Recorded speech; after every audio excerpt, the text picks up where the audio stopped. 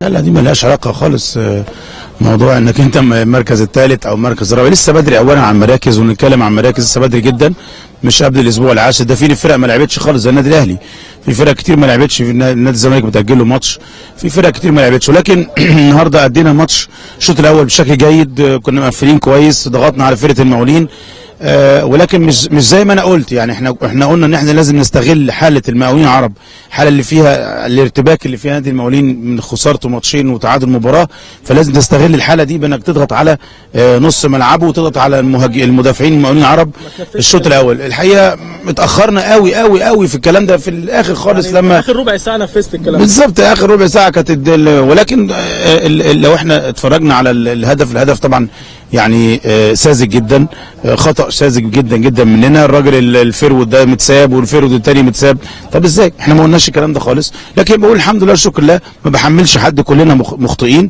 آه، لكن بقول إن إحنا الماتش اللي جاي إن شاء الله يبقى أحسن بإذن الله. وإحنا يعني بنعتذر للجماهير المصري وبورسعيد على الخسارة النهارده. وإن شاء الله بإذن الله هنعوض إن شاء الله الماتش اللي جاي إن شاء الله. كابتن طارق يعني شايفين النادي المصري يمكن خط الدفاع؟ حضرتك بتلاعب أسامة عزب ده الظهيري الأيمن بتلعبه جنب ويلسون وكان موجود مع حضرتك آه، محمد جبر في المباريات الأولى آه، من الدوري الممتاز. نعرف برضو آه، أسباب هذا التغيير. بص أنا لما بغير بغير لظروف الفرقة اللي قدامي أنا عندي اتنين صراع جدا سواء بابا أركو أو محمد سالم الاثنين صراع جدا ولابد إنك أنت تقابلهم بنفس السرعة. في ويلسون وفي جبر. جبر مش مش نفس سرعة أسامة. وأعتقد إن أسامة أدى أداء آه، كويس جدا النهارده باستثناء الهدف اللي جه طبعا هم الاثنين غلطانين فيه.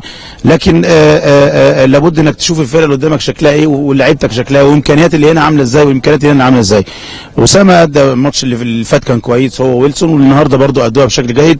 ولكن لازم زي ما بقول لك لما أجي بغير بغير تبعا للفرقه اللي قدامك مش ال ال ال ال ال ال يعني ظروف المباراة وقدرات اللعيبة اللي قدامك. شفنا الجهاز الفني متعصب دايما على الخط كان في آه، يعني آه، آه، دايما إن هم بي بي بيعترضوا على قرارات الحكم. يمكن ده اتنقل للعيبة وده سبب فرعونه للمهاجمين واللاعبين. لا خالص خالص. إحنا ما اعترضناش على ال- الحكم هو الراجل اللي شايفه بيحكمه وخلاص. إحنا ما لناش اعتراض وما لناش كلام مع الحكم خالص. سبب تسرع اللاعبين طبعا في إنهاء الهجمات يمكن لاح ضغط الجون الهدف اللي جه وولاد اتضغطوا فلابد إنك أنت يبقى فيه ضغط شوية. لكن أنا مش بحب كده. يعني أنا قلت لهم إن إحنا حتى لو لا قدر الله جبنا جون إحنا كنا خسرانين الاسماعيلي اتنين جبنا جونين الشوط الثاني لكن دي كرة قدم ودي آه، ظروف مباراة.